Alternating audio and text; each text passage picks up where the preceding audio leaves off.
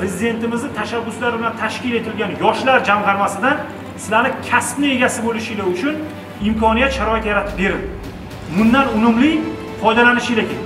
O'qimaganlarni o'qitib beramiz. Ish ham qo'linglarga topib beramiz. Shuning uchun o'zinglar uchun eng asosiy xohish eng asosiysi o'rganish va eng asosiysi ishlash shijoati paydo bo'lishi kerak.